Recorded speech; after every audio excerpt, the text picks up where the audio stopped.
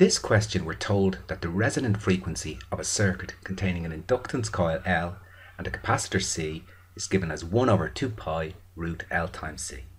And you're asked to calculate the approximate percentage change in the resonant frequency when the capacitor C is decreased by 3% and the inductance L is increased by 4%.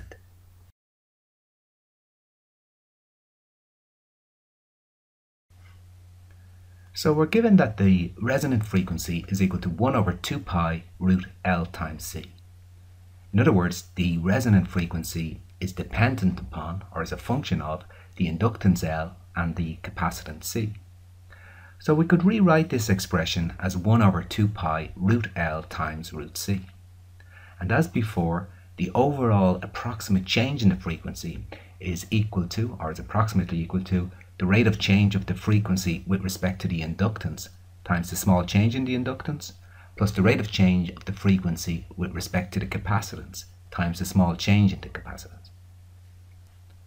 So first, let's consider calculating the partial derivative, the FDL, the rate at which the frequency changes with respect to the inductance when the capacitance is kept constant.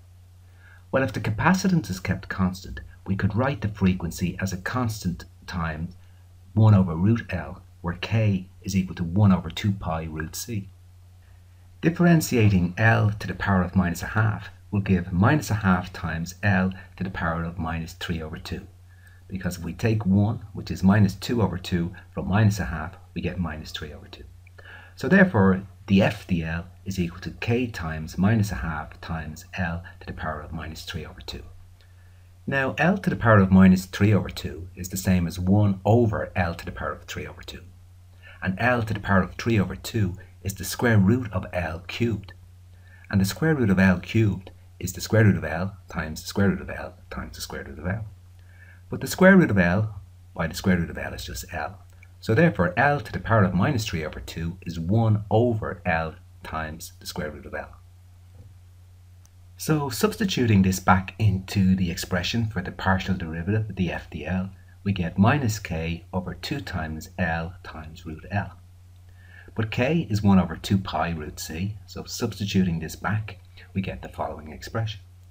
So if we rearrange, bringing the L to the front, we get the FDL is equal to minus 1 over 4 pi L times root LC. So using the same approach, we could calculate the partial derivative, the FDC, the rate of change of the frequency with respect to the capacitance. So this is exactly the same, except we differentiate the frequency with respect to the um, capacitance. So applying the same logic that we applied for the um, partial derivative of the frequency with respect to the inductance, we get the rate of change of the frequency with respect to the capacitance is equal to minus 1 over 4 pi times c times root LC. So we now know the partial derivative, of the FDL and the FDC. So we need to work out the small changes in L and C. And in the question, we're told that the inductance increases by 4%, which is 4 over 100 times L, and the capacitance decreases by 3%, which is minus 3 over 100 times C. So the L, the small change in the inductance, is going to be 0.04 times L, and the small change in the capacitance is minus 0.03 times C.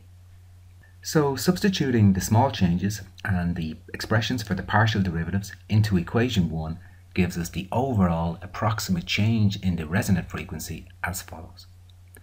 And if we rearrange this and if we add the two terms, we get minus 0.01 over 4 pi times root LC.